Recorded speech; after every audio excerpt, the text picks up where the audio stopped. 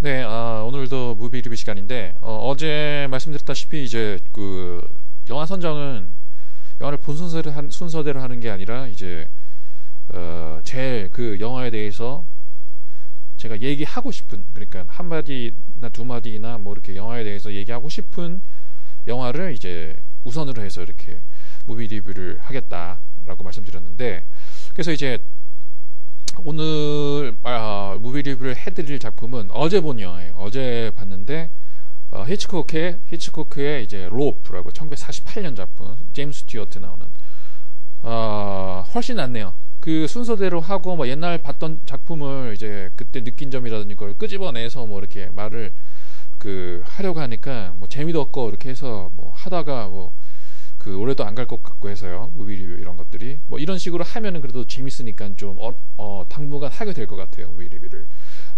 어 그럼 왜 Rope냐? 어제 봤기 때문에 뭐 그뿐만이 아니 아니라 너무 너무 재밌었어요. 히치코크의 그 Rope인데 너무 너무 재밌었어요. 아 사실 어 히치콕 그 Vertigo Vertigo를 무비 리뷰 할 당시에 조금 이렇게 저랑 어 히치 그 제가 히치콕 작품이랑 이제 나랑의 어떤 그런 그 뭐 이렇게 그런 걸 말씀드렸는데 어 히치콕 영화는 우리 그, 그 아버지가 많이 빌려와서 이렇게 보던 기억이 나요. 근데 이제 동참을 안 했죠 보는데 별로 이렇게 흥미가 안 느꼈었는지 내가 좀 어려서 그랬는지 또 히치콕 영화가 어 주로 이렇게 옛날 영화다 보니까 어 별로 이렇게 흥미가 끌리는 게 없었는데 요즘 어 영화를 보다 보니까 이거 봐야 되겠다 뭐 이런 생각이 좀 들었어요 어 명작들이 많으니까 그래서 이제 예전에 이번에 이제 영화를 그 하나씩 이제 그 무비 리뷰를 하기 위해서 이제 보, 어 보기 시작하기 전 전에 이제 본 히치콕 작품이라고 하는 거는 고작 사이코랑 이제 히치콕의 새 이거밖에 없었거든요. 이제 그 후에 이제 Vertigo를 하나 보고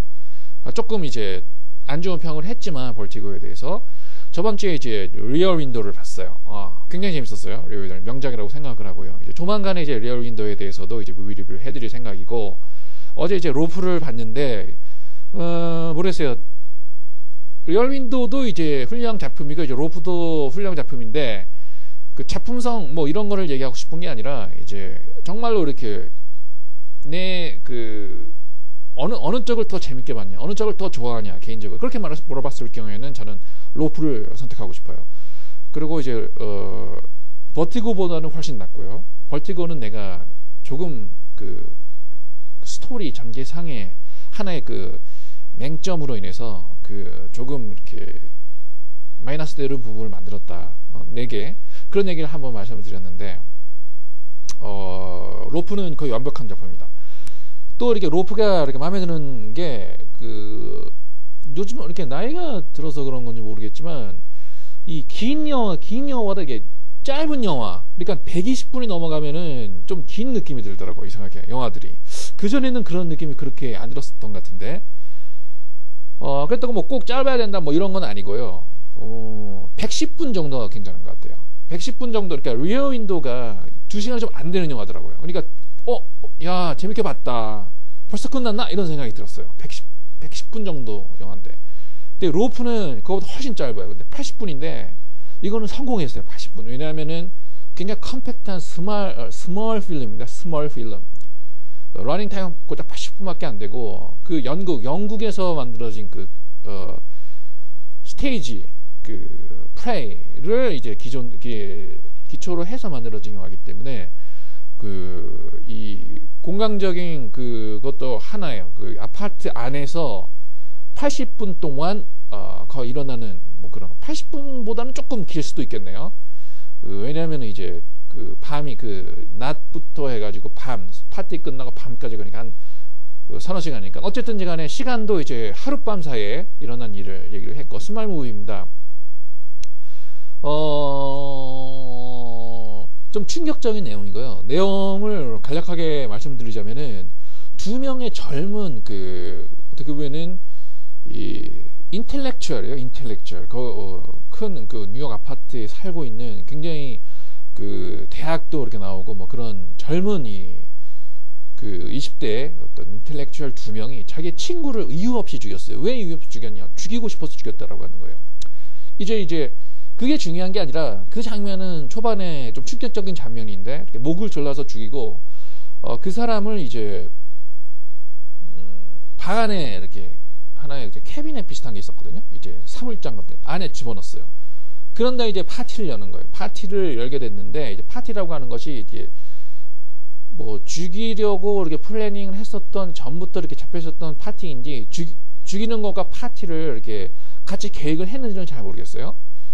근데 이제 파티에 이제 그 죽, 죽임을 당한 그 남자 데이비드 씨라고 하는 남자의 뭐 부모도 오고 여자친구도 오고 그러고 이제 그럼 그러니까 어떻게 보면은 planning 했다고 할 수 있죠. 그러니까 거의 사이코패스예요. 어떻게 보면은 그 좀 충격 이 영화가 충격적인 장면은 안 나오는데 굉장히 충격적인 영화라고 하는 저는 솔직히 충격받아 1948년 영화에 이런 내용을 담은 담을 수 있었나 싶었거든요. 왜냐하면 하나가 뭐냐면은 사람을 재미로 죽였다라고 하는 게 굉장히 그 충격적이거든요.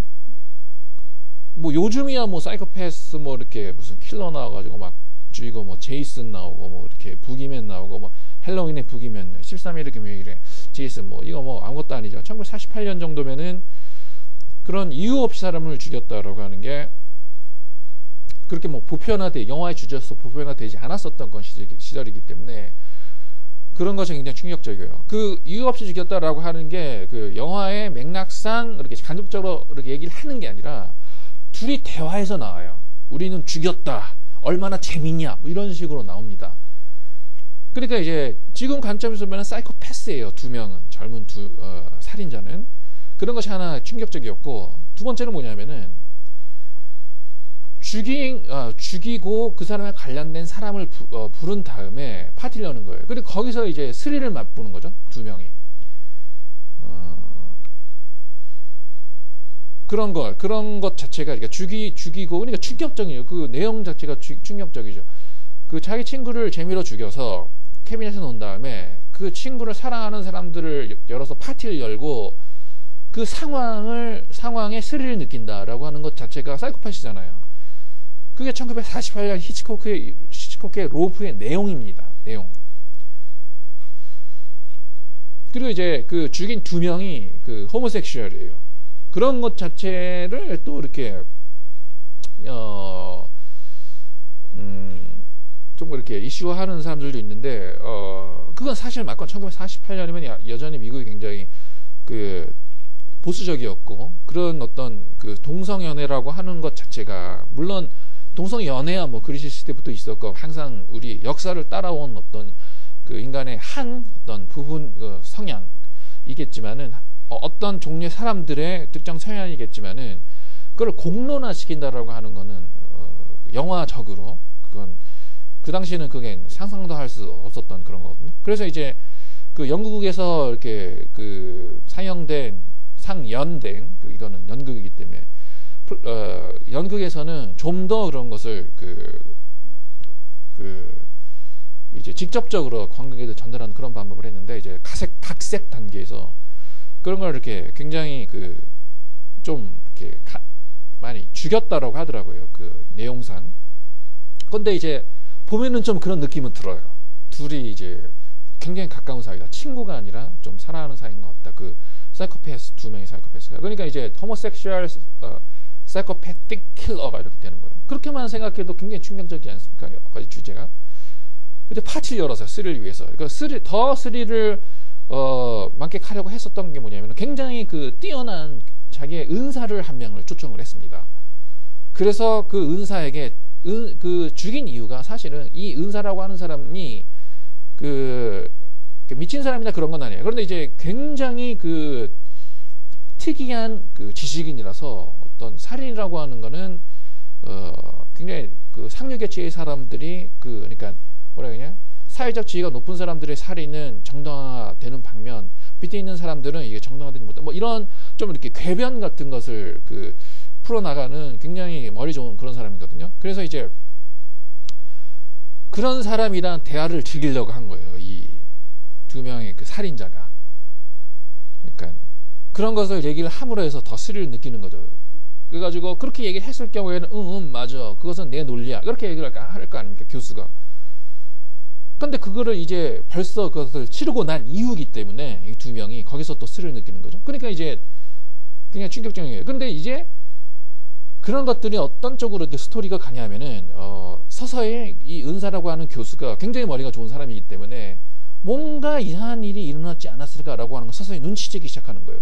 그리고 원래 대, 어, 살인을 당한 데이빗이라고 하는 남자가 이 파티에 초대하기로 되어 있었거든요.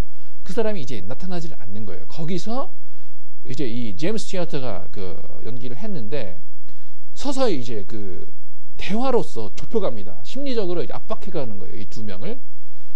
이제 이 사이컬러지컬한 어떤 그 심리적인 이 스릴이라고 하는 게 굉장히 재밌어요. 그 제가 그런 걸 좋아하기 때문에 그런지 모르겠지만은 그런 이제 대화로서 이제 제임스 티어트가 이 두 사람을 압박해 나가는 거 그리고 이제 두 사람의 살인자 중에서 한 명은 마음이 약해요. 그러니까 한 사람은 그 다른 한 사람은 완전한 사이코패스고 그 참 이렇게 굉장히 매력적이고 그리고 완벽주의자고 그러면서는 냉혈한입니다. 그리고 또 한 명은 뭐냐면은 마음이 약해요. 살인에 동참을 했지만은 그 살인이라고 하는 게 자기가 이제 그 자청을 해서 그렇게 했다라기보다는 이 자기의 애인 그 동성 애인이 어 그 완벽 사이코패스의 어떤 그 어떤 그 뭐라 그래야 되나 설득에 넘어가서 이 살인에 동참을 한 그런 사람인데 그런 사람이 반응이 또 틀려요. 이제 제임스 티아트가 심적으로 심리적으로 이제 굉장히 추궁을 하고 압박해 나갔을 때 이 사이코패스 쪽의 어떤 반응이랑 마음이 약간 그, 그 친구의 반응이랑 둘이 같이 살인을 했지만 그것이 굉장히 대조적으로 이제 심리적으로 나오는 거예요. 그런 어떤 대조라고 하는 것도 굉장히 재밌고 그리고 어떤 식으로 이제 마지막에 어 이게 그냥 이렇게 어, 마지막에 제임스 티아트가 그래 그런가 보다라고 그냥 떠나갔다라고 하면은 건 재미가 없는 거 아니겠습니까? 마지막으로 그것이 어떤 실수라든지 말의 실수라든지 심리적 압박에 압박에 의한 어떤 그 burst, 심리적 burst 이런 것으로 인해서 결정적인 단서를 제공해버린다라는 쪽으로 갈 것이다라고 하는 건 뻔하거든요. 근데 그, 이, 이 과정이 굉장히 재밌는 거예요. 이 대화 하나만으로 이렇게 계속 가고, 그리고 이, 그, subtle한 굉장히 미묘한 이게 이 행동이라든지 카메라 워크라든지 어떤 얘기를 했을 때 그 자꾸 이렇게 그, 그 죽임을 당한 데이빗이 들어가 있는 이 사물함 이런 것을 자꾸 보여주는 장면이라든지 그 정말로 정말로 이 brilliant합니다. 훌륭한 영화예요. 그 이렇게까지 그 뭐라 그래야 되나 요즘 영화처럼 이제 시각적으로 이렇게 보여주는 충격 효과라든지 그러니까 이제 어떤 구차한 설명 없이 그 상황 설정과 거기에서 벌어지는 대화라고 하는 것 하나만으로 이렇게까지 보는 사람의 심리를 그 조마조마하게 하고 thrilling, thrilling 하게 만들 영화는 제가 이렇게 경험하지 못했어요. 그래서 너무너무 재밌게 봤습니다, 어제. 어, 정말로 이렇게 적극 추천을 하고 싶고요. 근데 조금 제가 이렇게 보기 전에 사람에게 귀띔해야 될 어떤 상황은 뭐냐면은 절대 이 영화는 큰 영화가 아니에요. 왜냐하면 80분이고요. 이게 연극을 영화했기 때문에 그 공간의 이동이 없어요. 그러니까 연극적인 영화라고 생각하면 돼요. 그러니까 연극과 그 영화 중간 정도 되는 영화라고 생각을 하면 돼요. 그래서 이제 크게 딱 앉아서 그 영화를 한번 봐야 되겠다. 시각적인 어떤 그 유희를 즐겨야 되겠다라는 식으로 보지는 마시고 이 영화는 어떻게 보시느냐라고 하면은 뭔가 이제 밖으로 나가야 돼. 그러니까 오늘 데이트가 있어. 5시쯤에. 근데 지금 뭐 이렇게 할 것이 없고 한 9, 1시간 반 정도 남았어. 데이트 그 하러 나가기, 집을 나가기 전까지, 전까지.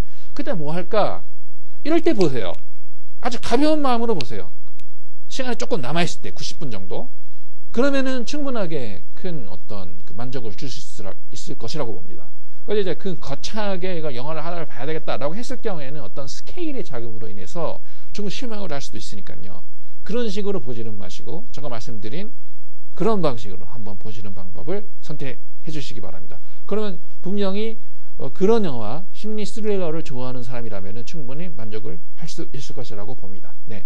그럼 오늘 그 히치코크의 1948년 로프 어, 제임스 스튜어트 그, 그 주연이고 살인자를 연기를 한 존 달이란 페, 어, 팔리 그랜저라고 하는 두 배우 그렇게 굉장히 이렇게 이름이 알려진 영- 어, 배우는 아닌데 어떤 평을 보니까 이 두 배우가 제임스 스튜어트보다 훨씬 기가 막힌 연기를 펼쳤다 이런 얘기도 있거든요. 그래서 이제 그 연기 훌륭한 연기를 한번 감상 어, 관- 감상을 하고 싶다라고 하는 어떤 사람들에게도 적극 추천하고 싶은 영화였습니다. 그러면 오늘은 어, 이만 어, 그 무비 리뷰를 마치겠습니다. 그럼 안녕히 계세요.